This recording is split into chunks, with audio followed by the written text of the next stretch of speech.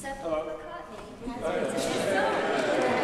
It was that embarrassing moment. Yeah. Hello, everybody. Yeah. right. So uh, I think Dario will explain. It's uh, a new film with Robert De Niro in it, and they wanted me to do the song at the end of the film. Best place for me.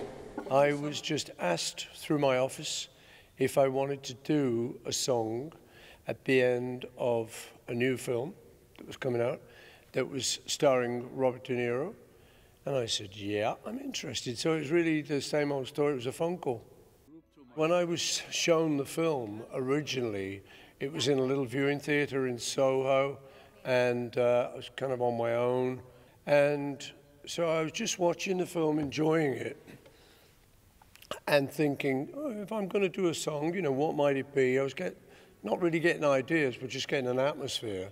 And uh, they'd laid in Let It Be, unbeknownst to me, sung by Aretha Franklin.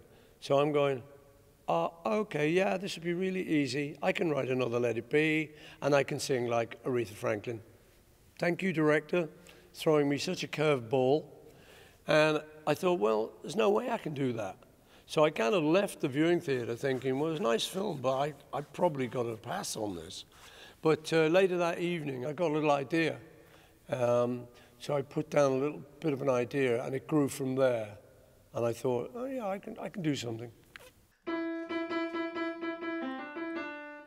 I try and do music and lyrics together normally.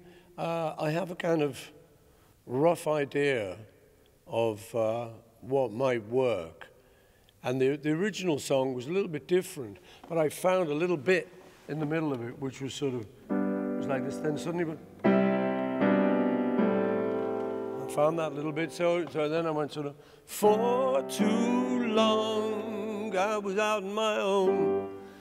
And so that sounded like the start of a, of a song then. So I started to work around that for so long. I was out in the cold. So that's where it started, and then I just developed it from that, words and music. But that little beginning of the verse was what led me forward. So I thought, oh, okay, now I sort of know what I'm doing.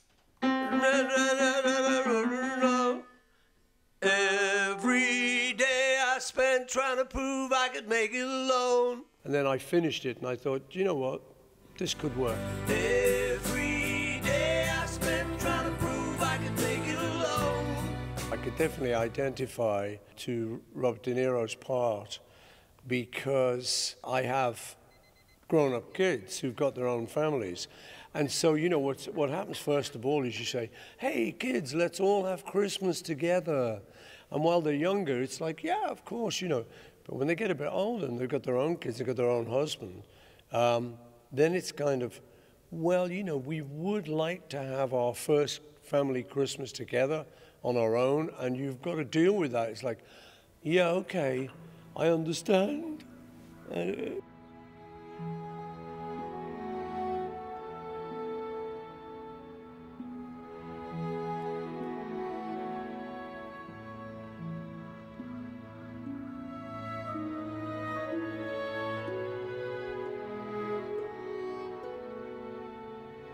In my mind, what they wanted at the end of this film is a song from me, not so much a piece of the score.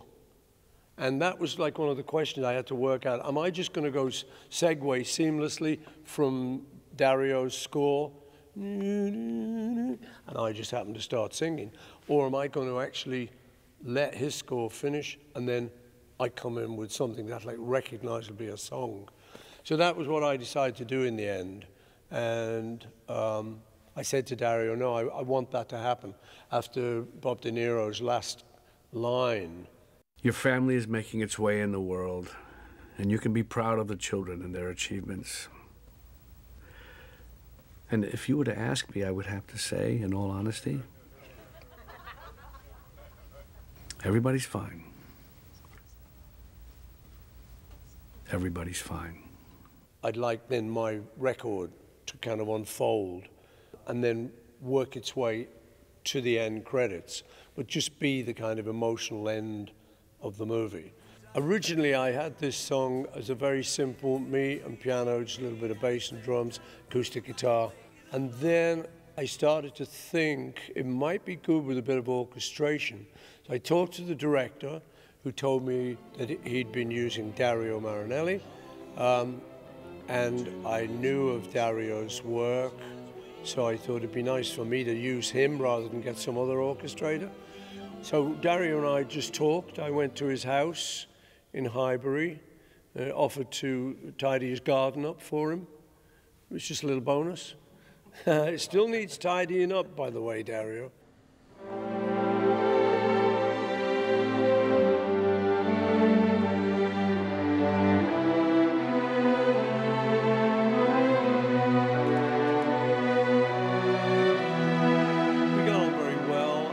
Decided to basically throw everything at it and just see what happened. And in fact, we threw too much at it. So, and he did a, a demo on a synth. Uh, but then we thought, "Mm, no, uh, we've, we've put too many um, notes or too, too much in it. So um, it was like in Amadeus, the film where the king sort of says, too many notes. It's like, yeah, okay. So we had another meeting where I kind of expressed that to him. And I said, I think we've got to simplify it. And what we do is we'll keep to kind of solo voices like a cello or like just a couple of violins before we go to the big orchestra so it kind of stays quite intimate and um, not too overblown. Just try to keep the simplicity of the song. Once we got that together after a couple of meetings, it was, we thought, okay, you know, I think we've just got it right now. So we came here to Air London, and this morning we did the uh, session. And I think they played great. Everyone played very well, all the soloists and the ensemble. And uh, so we're just about to mix it now. And uh, yeah, it's been great fun. Came so close the edge of defeat. Yeah.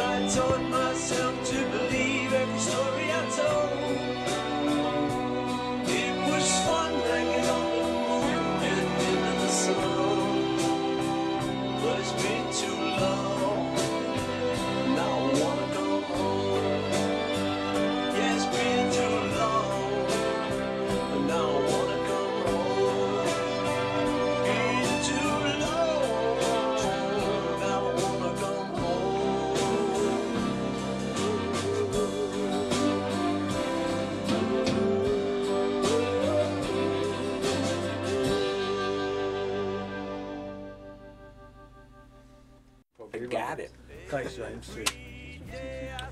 Cheers. Mr. Batman. Your family is making its way in the world, and you can be proud of the children and their achievements. And if you were to ask me, I would have to say, in all honesty, everybody's fine. Everybody's fine.